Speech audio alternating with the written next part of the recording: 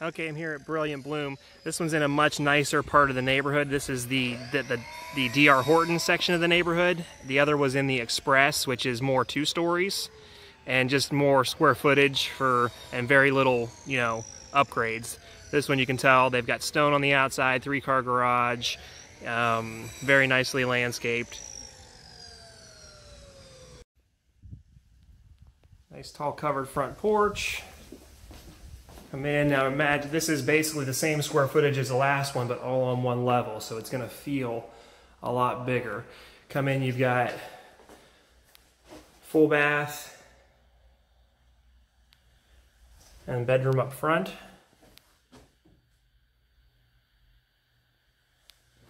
You know, and again, things you're gonna see in the DR Horton versus the Express is less bifold doors, more regular swing doors on your closets.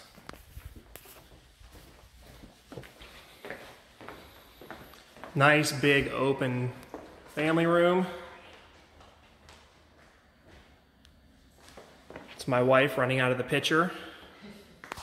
So you've got a, a, a den here, den study with double doors.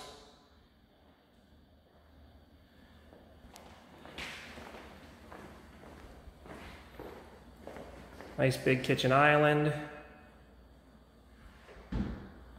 Corner pantry.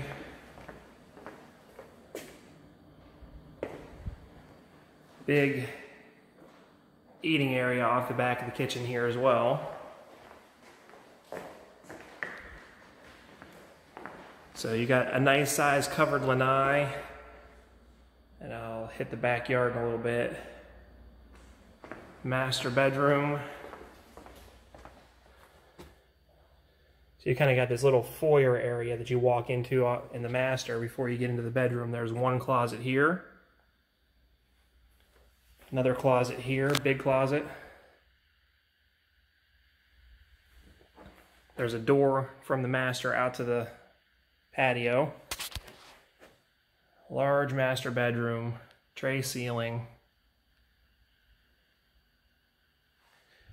And then nice big bath. So you got separate tub and shower. A big double vanity and your water closet.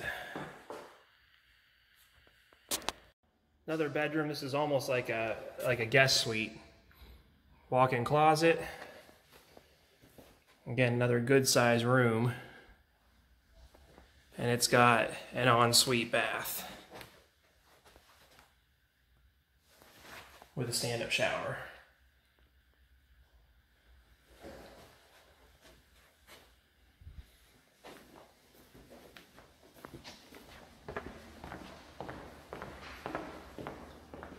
Then off the floor, you've got nice big laundry. There's even another storage closet back there off the back with shelving. Washer dryer. And then three car garage. There's your hurricane shutters for the windows. You do have attic access up there, so you could utilize some of that for storage. And looks like they've got extra tile and some paint and stuff like that there as well. So I do see one cracked tile here as you go into the laundry room. Just looks like a, you know, there was a stress point there, that tile cracked. But the good news is, is you've got extras, so that could be replaced.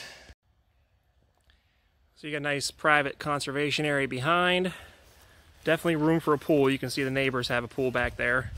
And that house sits about the same distance. Actually, it sits back a little further because it's all, all the way across. You've got a little bit more of a recessed area there.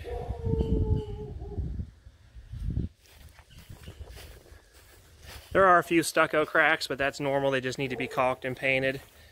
Um, you know, that's normal routine maintenance. Here's your covered area. And then again, looking out back. You do have some some stucco work that needs to be patched at the bottom of the foundation, which is pretty common. They just don't have enough slope away from the house there, so that just needs to be built up a little bit, patched, and make sure that these sprinklers aren't directed right back at the foundation. That's usually what causes that problem, is you got water spraying on the bottom there. All right, so this is looking down that brilliant bloom, which is nice because it's a short little cul-de-sac, so a lot less traffic on that street as well. But like you said, you can see how close you are to the pool area. Um, you've got a nice big pond with fountains in it up here at the beginning of the community.